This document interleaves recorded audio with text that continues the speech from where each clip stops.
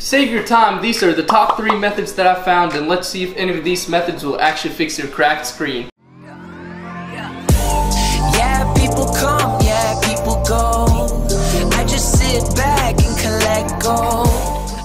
So let's begin with the toothpaste method and I'll be showing you before and after pictures at the end of the video. First we'll be testing out the toothpaste which is one of the most popular methods. After that we'll be testing out nail polish.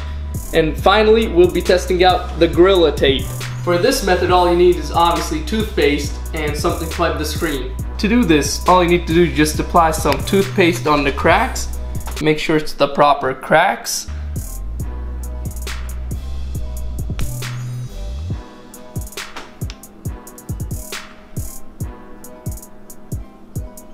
Now, rub it nice and smooth.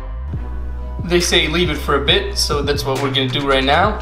Now it's been some time, so let's wipe it off to see the results.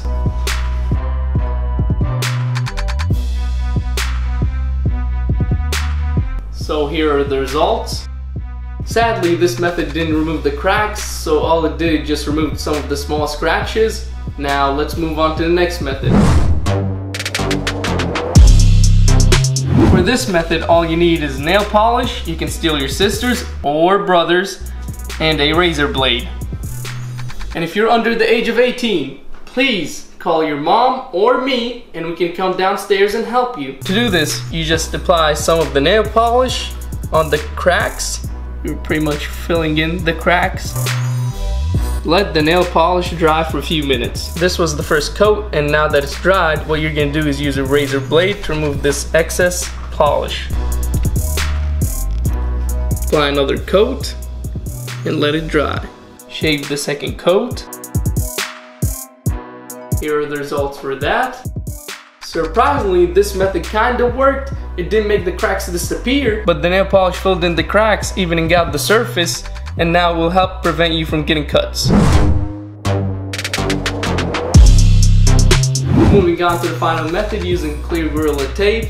You do not have to use Gorilla Tape because it is on the pricey side, but what you can do is use similar clear tape. By the way, this method will not heal up your screen, but it will be a free screen protector if you have the tape at home. To do this, you obviously need tape and scissors. This method is just like applying a screen protector, so make sure you clean your phone well. Cut out a piece of tape at the length of your screen. Do not cover up your camera, speaker, and home button for obvious reasons.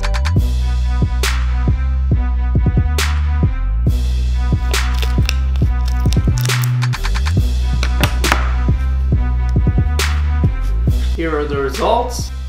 Now you have a screen protector and your phone will function normally. After all the testing, no method that you find online will actually make your cracks disappear, but they can help. However, to save your time with a method that actually works is by purchasing a new screen replacement and using a YouTube tutorial to show you how to replace it. Hope you guys enjoyed this video. Don't forget to like, subscribe, and follow me on Instagram. Peace!